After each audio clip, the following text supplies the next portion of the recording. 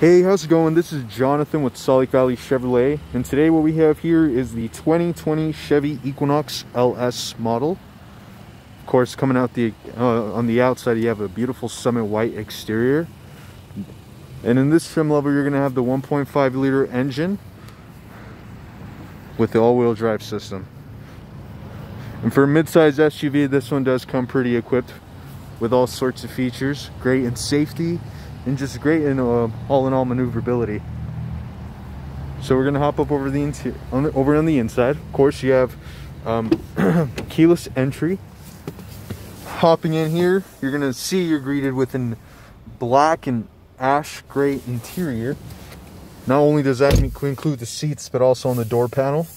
And over here, you have the classic Chevy steering wheel with the classic Chevy logo gonna have your safety features over here your collision alert cruise control lane assistance voice commands and this is just the control to look over on your heads up display. Fuel range trips etc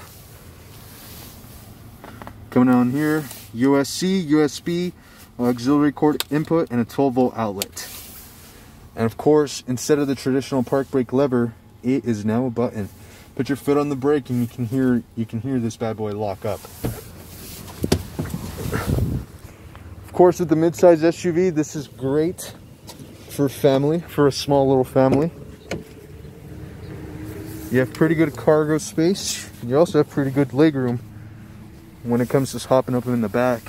You're gonna have two little vents and two USB ports to work with as well.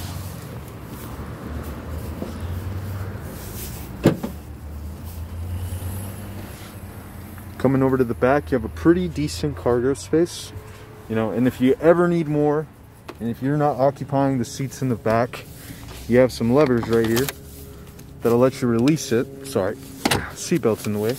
That'll let you release them and provide another two feet of space.